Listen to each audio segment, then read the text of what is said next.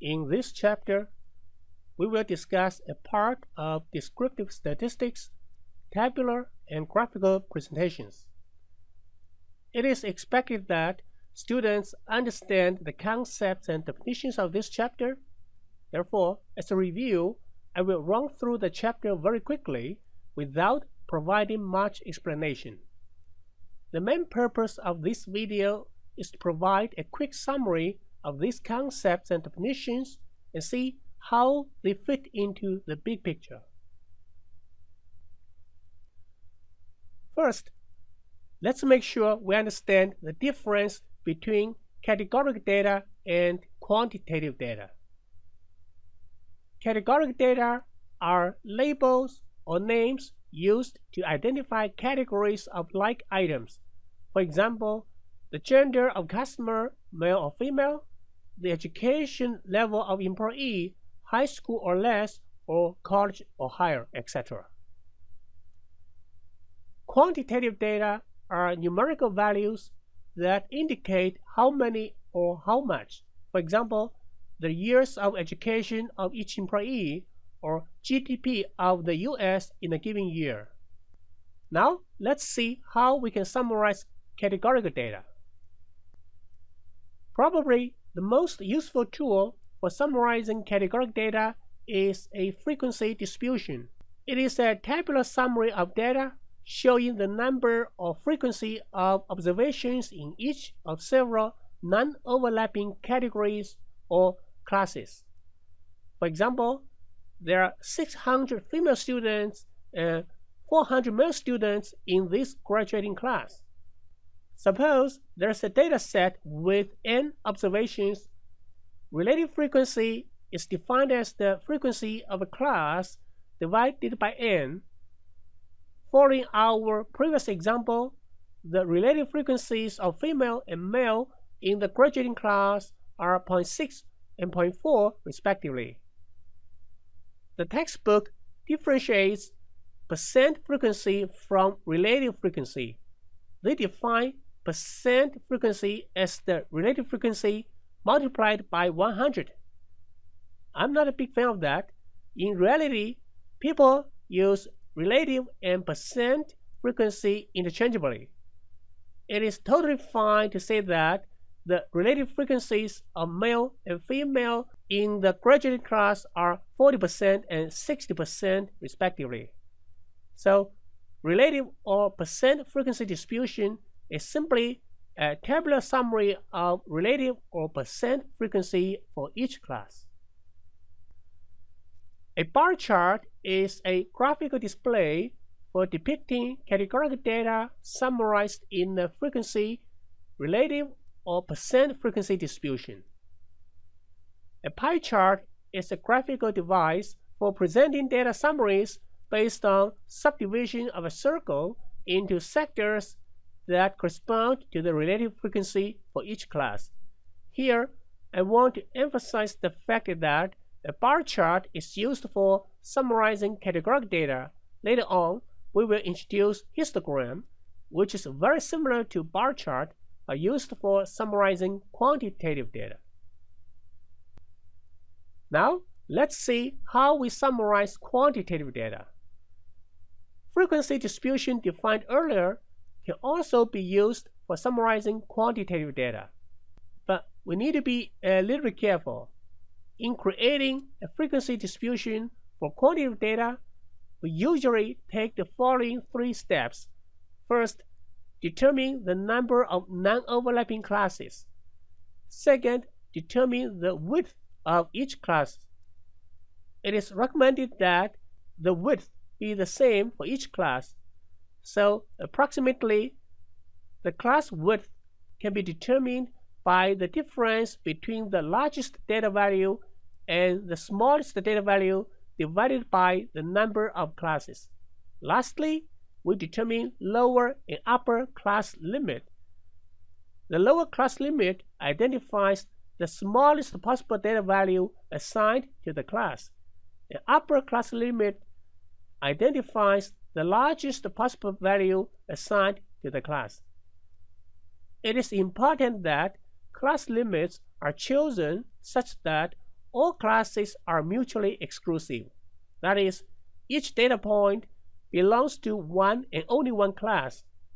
Sometimes people want to know the midpoint of class. It is simply the value halfway between the lower and upper class limits. Relative and percent frequency distributions are defined in the same manner as for categorical data. Dot plot is a graphical device that summarizes data by the number of dots about each data value on the horizontal axis. This horizontal axis shows the range of the data and each data point is represented by a dot placed above the axis. Histogram is probably the most useful graphical presentation for quantitative data. It displays a frequency distribution or relative distribution of quantitative data by placing the class intervals on the horizontal axis and the frequencies or relative frequencies on the vertical axis. I will show you how to plot histogram with Python's matplotlib in the next video.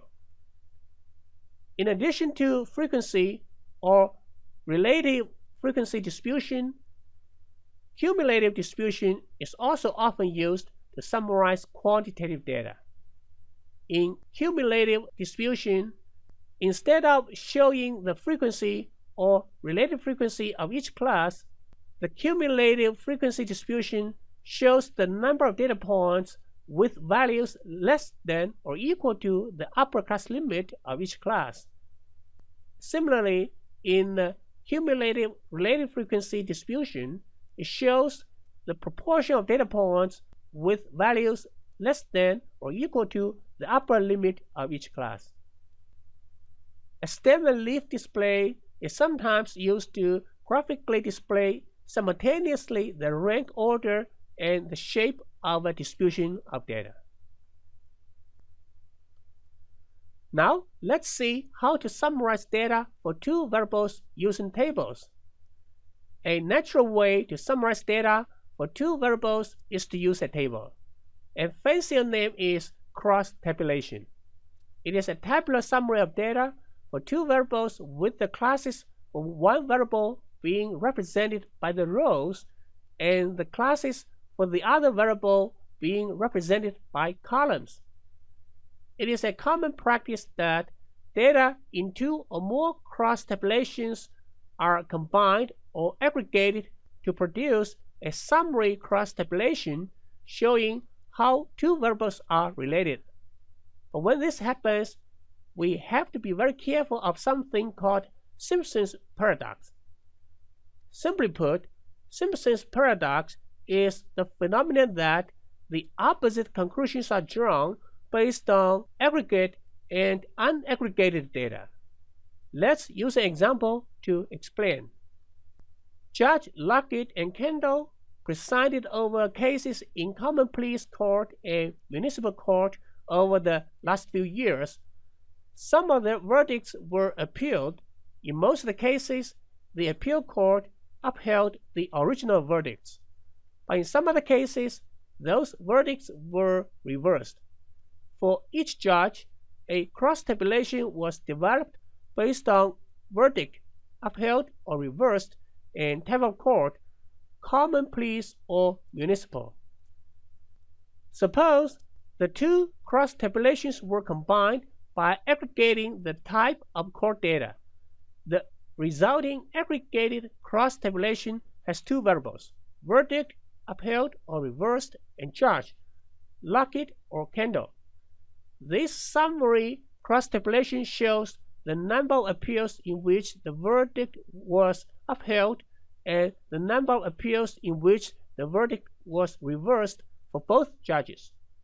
We see the summary here. It shows that 86% of verdicts were upheld for Judge Lockett, while 88% of the verdicts were upheld for Judge Kendall, it seems like Judge Kendall is doing a slightly better job. However, let's look at the unaggregated cross tabulations. From the unaggregated cross tabulations, we see right away that Judge Lockett is actually doing a better job. For Judge Lockett, the verdicts were upheld 91% of the time in common pleas court and 85% of the time in the municipal court. For Judge Kendall, on the other hand, the verdicts were upheld 90% of the time in common pleas court and 80% of the time in the municipal court. Type of the court turns out to be a very important factor when evaluating the record of the judges. Both judges are better in common pleas.